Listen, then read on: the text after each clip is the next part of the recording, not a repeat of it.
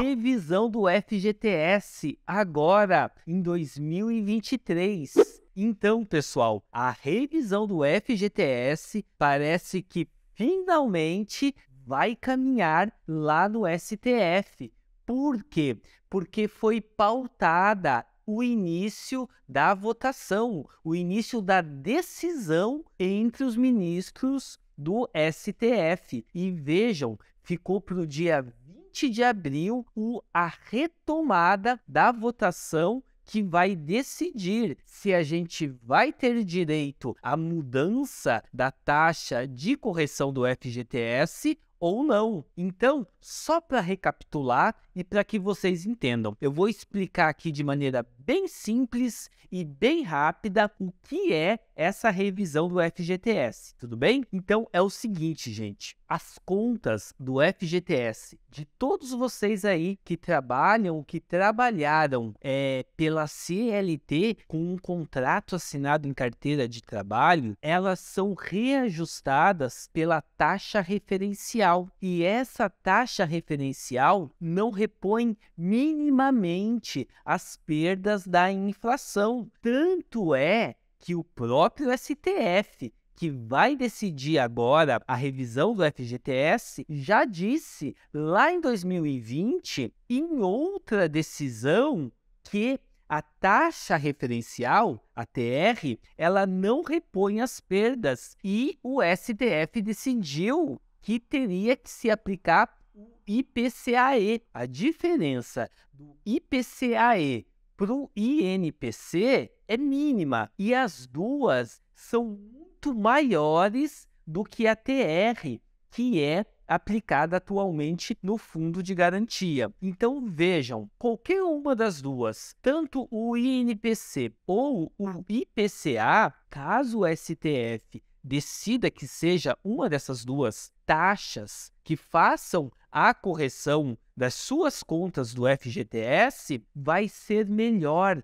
Vocês vão ter um ganho em relação à TR, que é a taxa atualmente aplicada. Dia 20 de abril, tem grandes chances de se começar lá uma decisão no STF na qual todos vocês que trabalharam com carteira assinada desde 1999 podem ter a chance de ver aí a correção das contas do FGTS e ter um ganho, gente. Aliás, não vai ser um ganho, né? Vai ser uma correção, mas enfim, vai ser um valor que vocês vão ter acesso em virtude dessas perdas que foram acumuladas desde 1999. O que vocês devem estar se perguntando? Ok, Oscar, eu trabalhei com carteira assinada de 1999 para cá. Como eu faço para saber se eu tenho direito a essa revisão. Eu vou responder aqui, gente, aquilo que é o motivo das maiores perguntas e questionamentos por parte de todos vocês que estão assistindo aqui o vídeo. Primeiro de tudo, trabalhou com carteira assinada, com contrato é, de trabalho pela CLT de 1999 para cá, gente, qualquer período que vocês tenham trabalhado,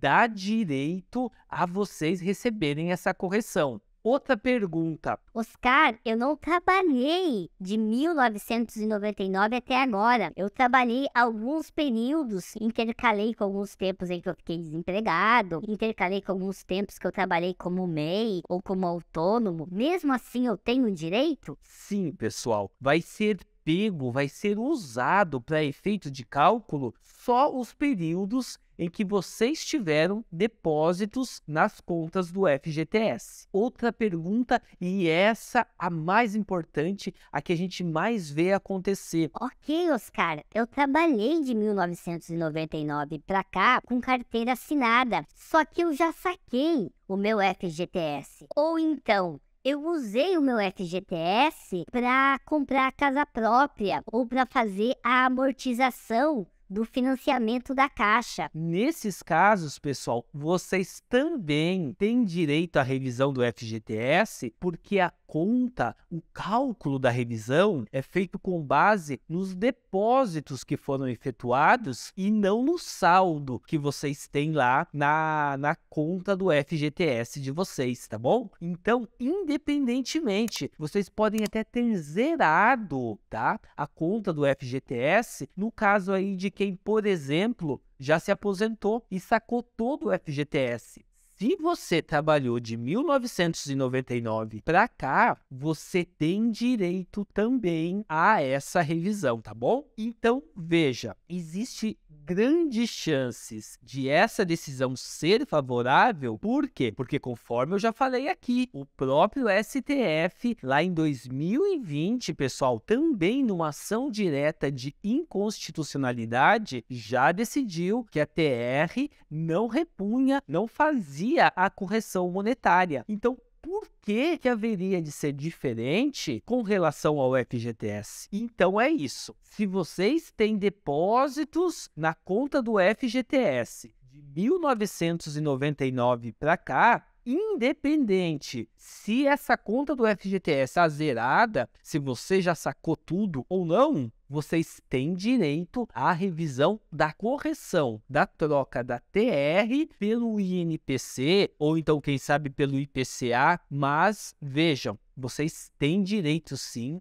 à revisão, tudo bem? E qual o caminho a tomar? O que fazer? Primeiro de tudo, gente, vocês vão pegar os seus extratos analíticos do FGTS na Caixa Econômica Federal, em qualquer agência, ou então vocês podem baixar o aplicativo do FGTS e ali com esse aplicativo, vocês fazem o download, vocês baixam do aplicativo os extratos e aí, junto com a carteira de trabalho de vocês, vocês procuram um advogado para estar tá ajuizando este processo para vocês, tá bom? Então é isso. Espero que ter ajudado, espero ter contribuído aí para que quem sabe lá a partir do dia 20 de abril vocês não tenham aí uma grande surpresa no sentido de a gente ter uma decisão favorável, não é mesmo? E aí todos verem justiça sendo feita e vocês tendo acesso à correção do fundo de garantia por tempo de serviço, que como eu falei desde o começo, foi corrigido pela TR, taxa referencial, e não faz a correção monetária do dinheiro tá lá depositado na conta do FGTS, conforme o próprio STF já decidiu em 2020. Um abraço abraço para todos vocês. Obrigado pela companhia. Até o nosso próximo vídeo e fiquem todos com Deus.